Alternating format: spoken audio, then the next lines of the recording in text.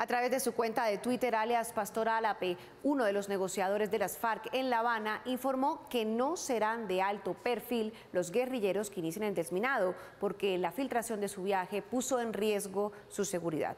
Patricia Uribe. Carolina, según sus compañeros, dijeron que es posible el desminado total en el país siempre y cuando se dé el cese bilateral al fuego.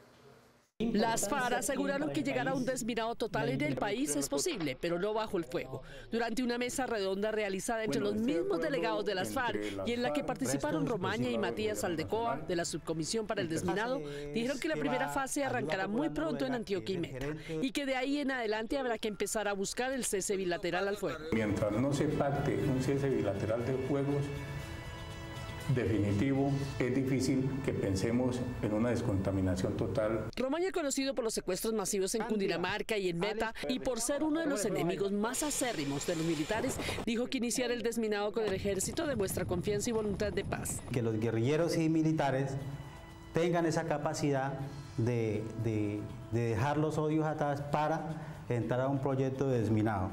Los delegados de la FARC manifestaron que ya tienen listos los puntos donde se encuentran artefactos explosivos que han sido arrojados por la Fuerza Aérea. Un sitio donde se conoce que hay unas bombas que descargaron unos aviones Cafir y están enterradas a 5 o 6 metros bajo tierra. El pasado martes, Pastor Alape en su cuenta Twitter dijo que ya no viajarían voceros de alto nivel de las FARC a Colombia porque se habían filtrado nombres. Se refería a Carlos Antonio Lozada y a él.